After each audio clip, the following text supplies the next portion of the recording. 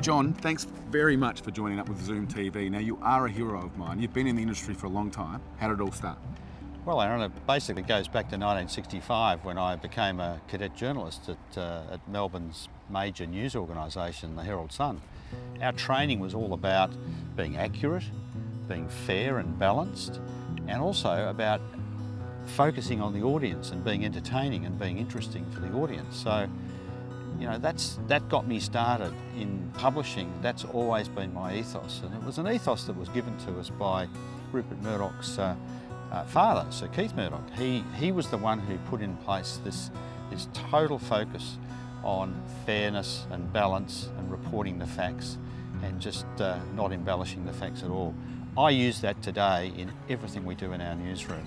Uh, our journos understand that. Our journos are not writing for other journalists, they're not writing for other PR people. They're basically writing for the people who come to Go Auto to read about cars and to decide what cars to buy. The core is that we have a, a motor industry uh, publication which goes to 70,000 people a week and that's designed for the people in the car industry to keep up with what's going on in their business.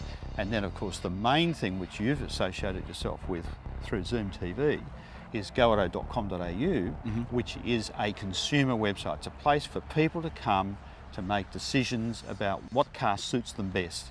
And we've put uh, a lot of work into making sure that when you come to our website, that it's very helpful in that area. So, John, what are the strengths of Go Auto? The strengths of Go Auto are, is the newsroom, in which we have highly qualified, loyal journalists whose entire raison d'etre is to get out there and get the best information for our readers. I think the other thing is that we try to make the information as simple as possible. Uh, I really like to encourage them to think about writing for their mothers, their sisters and their aunts, and so that if somebody reads their story, they can understand what we're saying. Cars are very technical and we try to make that as simple as possible. And you definitely do that. Thank you so much for joining Zoom TV. Good on you, Aaron. The team at goauto.com.au will be collaborating with us at Zoom TV to bring you very current, very educational, and of course, very entertaining reviews. You can expect some exciting vehicle advice and the most up to date motoring news. In the meantime, jump on to zoomtv.com.au and follow the links through to Go Auto for the best, most informative motoring advice.